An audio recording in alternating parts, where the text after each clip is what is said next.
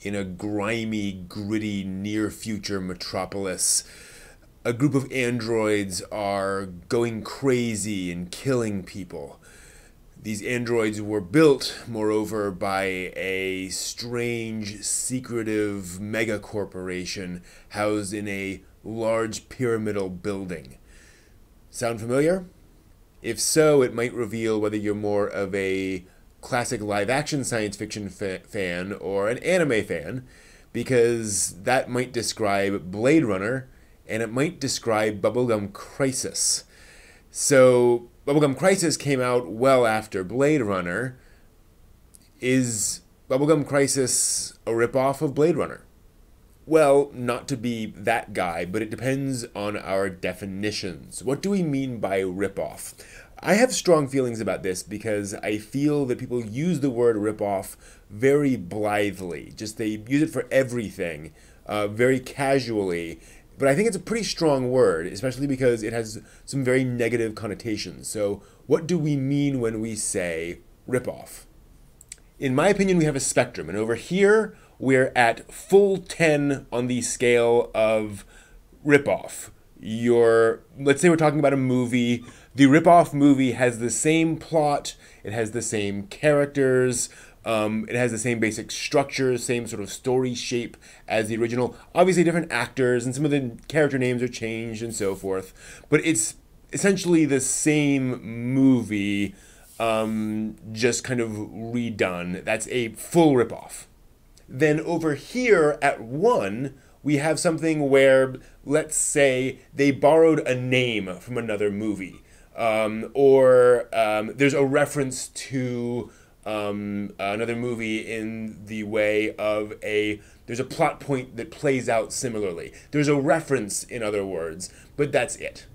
So when we say something is a ripoff, I think we have to identify on what side of the scale this is. And to do that, we have to look at these two works, Blade Runner and Bubblegum Crisis.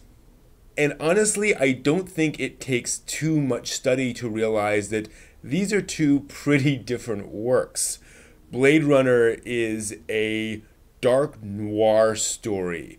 Um, Deckard is constantly um, outgunned, outclassed. He is doing his best, but is constantly getting beat up um, or otherwise pushed down by society. Um, and he is the sole protagonist. No one else wants to help out with him uh, or help him. Um, and it's sort of one man versus the world in that sense. And what I mean by that is that Blade Runner is the story of one man trying to solve a mystery. Um, it is a very directed story about Deckard himself. Obviously, there are other characters and other things going on, but really the focus of that story is on Deckard in this very noir, neon lit world um, a world that feels very dark and twisted in a way, very, very cyberpunk. Also, perhaps more importantly, the themes running through Blade Runner are all about humanity, um, contrasting the replicants with humans. What does it mean to be human uh, in a world where uh, androids have become effectively the same as humans? Um, and so a lot of the dialogue in Blade Runner is very much about that, even when it's not necessarily clearly about that. There is an undertone around questions of identity and who people are and uh, what people what people think they are. So Blade Runner is this um, um, uh, sort of this tone poem about this theme around humanity and other things as well, of course. That's one of its primary themes. Bubblegum Crisis is an action OVA about four cute young women, attractive young women, who punch androids to death. Um, it's a pretty over the top anime series. Um, and while it does occasionally touch on, you know, are we any better than the androids for you know killing them when they kill us? Um, really, the themes of Blade Runner are not all that present in Bubblegum Crisis. Also, none of the plot is there, right? Um, yes, it has the same basic premise of androids run amok, but let's be honest, that is not a new premise. Um, even in by the time of Blade Runner. Um, so I think seeing um, seeing how Bubblegum Crisis takes that basic concept and runs with it shows you how much it is not really ripping off Blade Runner in that sense. The plot doesn't match really at all. And I think there's also an important tonal difference. Yes, the future Tokyo of Bubblegum Crisis um, does have a grimy, gritty layer of uh, uh, uh, feeling to it. And yes, there is a cyberpunk aesthetic to Bubblegum Crisis, but I think it's it's quite different.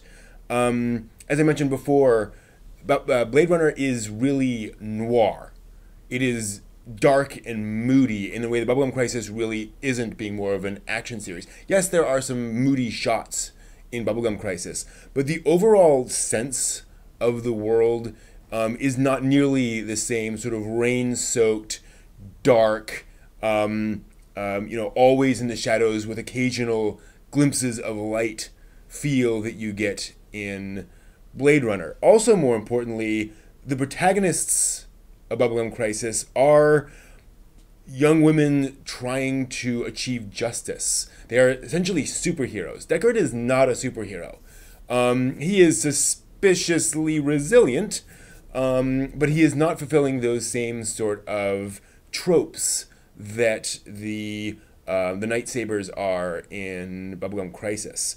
Um, so that doesn't really match very closely either. So I think what you get in Bubblegum Crisis is a series that is clearly inspired by Blade Runner and carries uh, uh, with it a couple of underlying um, premise conceits, um, some you know, basic ideas for its premise, and some visual imagery, but otherwise takes a very different direction with it. Um, Bubblegum Crisis is not repeating Blade Runner. It is saying, hey, those moments in Blade Runner are cool. Those bits of Blade Runner are cool. Let's use that as inspiration in our work. So I would say I would put Blade Runner um, and Bubblegum Crisis at maybe a, a, a three on the ripoff scale here at best. Why do I bring that up? Because I think it is important in our current media world to be aware of the words we use. Uh, when somebody comes to you and asks for a recommendation, uh, and you launch into your explanation, you only get a couple of sentences before you can see it in their eyes. The other person is kind of like, okay, I got it, I got it, and they kind of start to check out. Um, so you only have so many words to speak to communicate everything that they're really going to get out of what you're talking about. And so when we use words like rip off, I think it's important to, to recognize how strong that is and to use that word appropriately. Now, I'm not going to suggest that you sit down and, and say, okay, now on a scale of 1 to 10, you know, um, necessarily, although that wouldn't necessarily be a bad idea.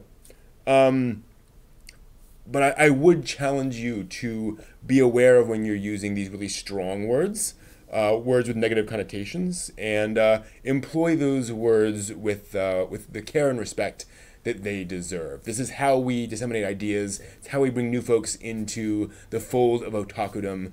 Um, and so, you know, let's let's use the right words as much as we can. Okay.